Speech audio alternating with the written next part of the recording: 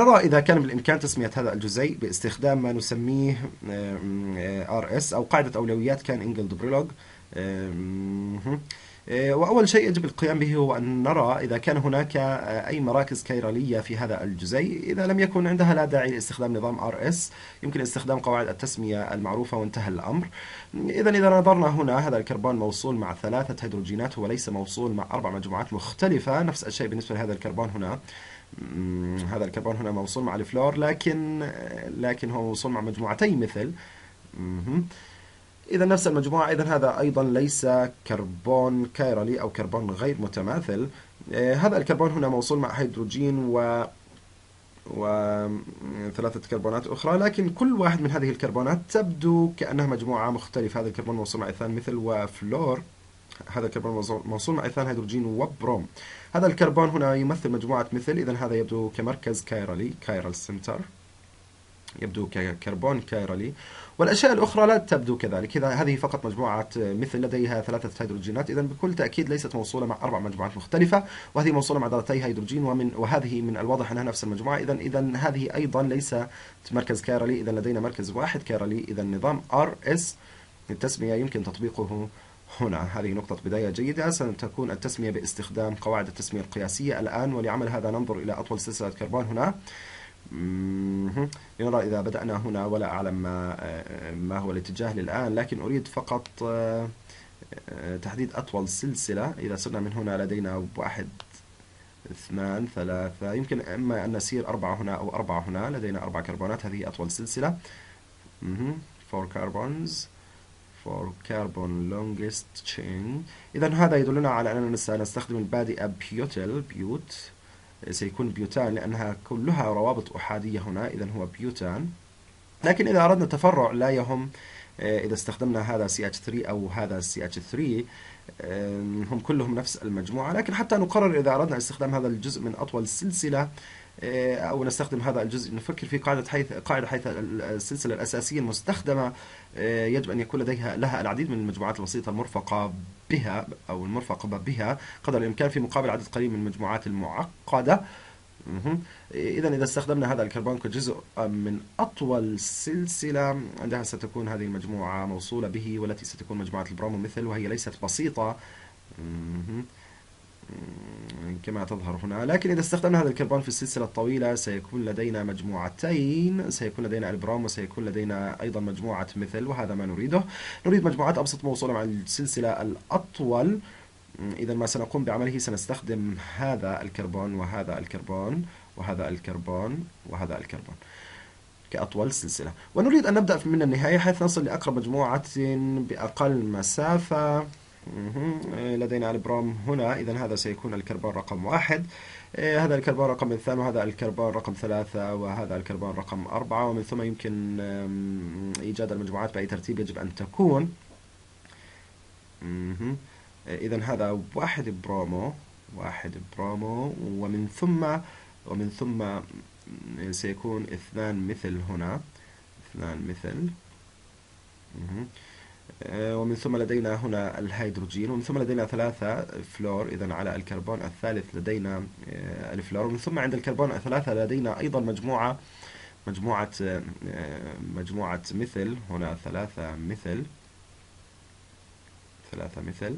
تذكروا عند التسمية نضع المجموعات بالترتيب الأبجدي البروم يأتي أولا إذا هذا هنا يكون واحد برومو واحد برومو. ومن ثم أبجديا الفلور يأتي بعد ذلك. واحد برومو ثلاثة فلورو. ثلاثة فلورو. إيه، لدينا مجموعتين ميثيل اثنان فاصلة ثلاثة داي ميثيل.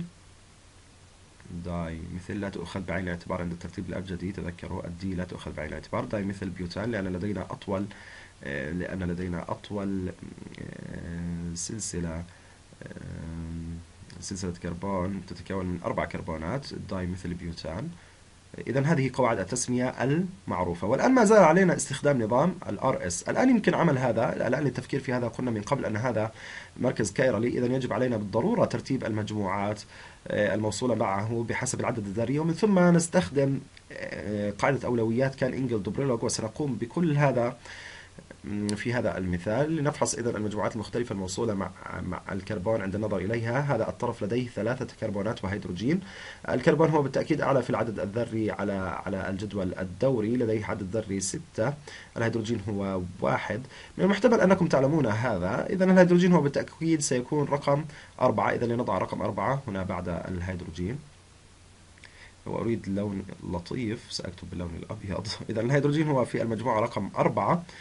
يجب أن نفرق بين مجموعة الكربون هذه وتلك المجموعة من الكربون ومجموعة الكربون تلك والطريقة للقيام بذلك إذا كان هناك تعادل في الكربونات الثلاثة عندها ننظر إلى ما هو موصول إلى هذه الكربونات ونقارن أعلى شيء موصول مع كل من هذه الكربونات مع أعلى شيء موصول مع الكربونات الأخرى ومن ثم نقوم بنفس التصنيف أو الترتيب وإذا كان هذا متعادل نتابع أكثر وأكثر. إذا عند هذا الكربون هنا لدينا البروم. البروم لديه عدد ذري يساوي 35 وهو وهو أعلى من الكربون.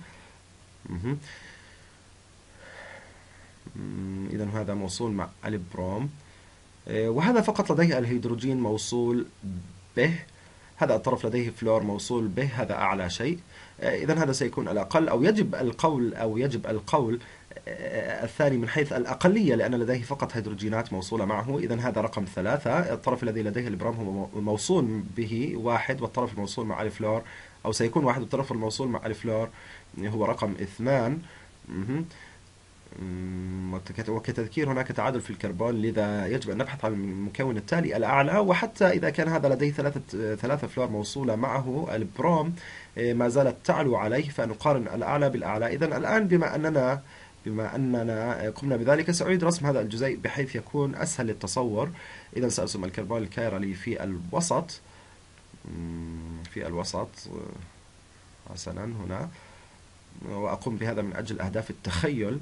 وهنا لدينا المجموعة رقم واحد وسأسميها حرفيا المجموعة رقم واحد. إذا هنا هذه المجموعة رقم واحد. هي في مستوى الشاشة. إذا سأسمي هذه المجموعة رقم واحد. هنا أيضا في مستوى الشاشة لدينا لدينا آه، المجموعة رقم اثنان. مجموعة رقم اثنان. إذا سأقوم بها آه، هكذا. من ثم لدينا المجموعة رقم اثنان بهذا بهذا الشكل. آه، ومن ثم لدينا المجموعة رقم ثلاثة خلف الجزيء الآن بالطريقة المرسوم بها. سأستخدم اللون الأرجواني. لدينا هنا المجموعة رقم ثلاثة وهي خلف الجزيء سأرسمها بهذا الشكل. إذا هذه المجموعة رقم ثلاثة. ومن ثم لدينا المجموعة رقم أربعة وهي وهو الهيدروجين والذي يشير للخارج لأن الآن سأستخدم الأصفر لذلك.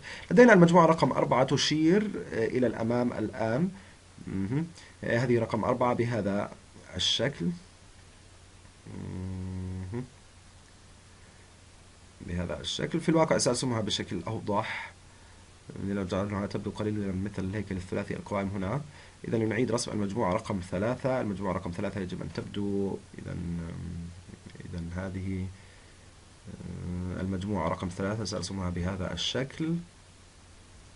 المجموعة رقم ثلاثة خلفنا هنا. ومن ثم في النهاية لدينا المجموعة رقم أربعة في الأصفر وهي فقط الهيدروجين الذي يشير آه، آه، بشكل مستقيم للخارج. إذا هذا خارج بشكل مستقيم حسنا ليس مستقيم لكن في زاوية خارج آه، ربما. إذا هذه المجموعة رقم أربعة وهي عمليا فقط للهيدروجين. إذا لا داعي لتبسيطها كثيرا الآن هي هكذا. أو عن طريق قاعدة أولويات كان إنجولد بريلوغ نظام ال RS سنقوم بتسمية هذا الجزيء. نريد المجموعة رقم أربعة لتكون الأبعد في الخلف. إذا في الواقع نريدها حيث موقع المجموعة رقم ثلاثة. والطريقة الأسهل التي يمكن التفكير بها هي هو أنه يمكن أن تتخيل أن هذا هو ثلاثي القوائم لذلك يمكن قلبه رأسا على على عقب. أو طريقة أخرى لنبين هذا يمكن أن تبدو كمظلة حيث هنا المقبض للمظلة وهذا أعلى المظلة الذي الذي سيحجب المطر عنا. لكن أسهل طريقة للحصول على المجموعة رقم أربعة للحصول على المجموعة رقم أربعة وهي عملية الهيدروجين في موقع المجموعة ثلاثة ستكون تدوير الجزيء يمكن أن تتخيلوا الدوران حول المحور والذي هو المجموعة رقم واحد. إذا المجموعة رقم واحد في نفس مكانها ستكون في نفس مكان. المجموعة رقم أربعة ستدور إلى المجموعة رقم ثلاثة. المجموعة رقم ثلاثة ستدور لتكون في في مكان المجموعة الثانية ومن ثم المجموعة الثانية ستدور لتكون في موقع المجموعة الرابعة. إذا إذا أردنا إعادة رسم هذا سأعيد رسم الكربون الكيرالي سأرسم هنا. سأرسم هنا إذا لدينا كربون كايرالي سأضع نجمة هنا لنشير أن أن هذا كربون كايرالي. المجموعة رقم أربعة الآن هي في الخلف وسأقوم بهذا مع الدوائر. هذا يجعلها تبدو مثل الذرات. إذا المجموعة رقم أربعة هي الآن في الخلف بنفس الموقع الذي كانت به المجموعة الثالثة. إذا رقم أربعة هي الآن هنا. ورقم واحد لم تتغير. هذا هو المحور الذي كنا ندور حوله. إذا المجموعة رقم واحد لم تتغير. رقم واحد ما تزال هنا. رقم اثنان الآن هي حيث كانت المجموعة رقم أربعة إذا رقم اثنان آه، الآن هي خارج الصفحة. آه، بهذا الشكل. ومن ثم لدينا رقم ثلاثة هي الآن حيث كانت رقم اثنان. إذا المجموعة رقم ثلاثة هنا. والآن بما أننا وضعنا المجموعة الرابعة في الخلف آه، فلقد أوجدنا عمليا إذا ما كان يجب آه، أن نسير مع عقارب الساعة أو عكس عقارب الساعة من واحد اثنان ثلاثة وهذا شيء مباشر ننتقل من واحد اثنان ثلاثة. يجب أن نسير آه، بعكس عقارب الساعة. counter counter clock. أو طريقة أخرى للتفكير في هذا أننا سنسير لليسار بعكس عقارب الساعة. إذا إذا آه، سنسير إلى اليسار. ولهذا بما أننا نسير اليسار إذا هذا S أو sinister. إذا هذه S والتي ترمز إلى sinister. sinister وهي باللاتينية تعني اليسار. إذا انتهينا. قمنا بتسميته باستخدام نظام R S. هذا الجزيء هو S sinister. واحد bromo ثلاثة fluoro اثنان ثلاثة dimethyl butane.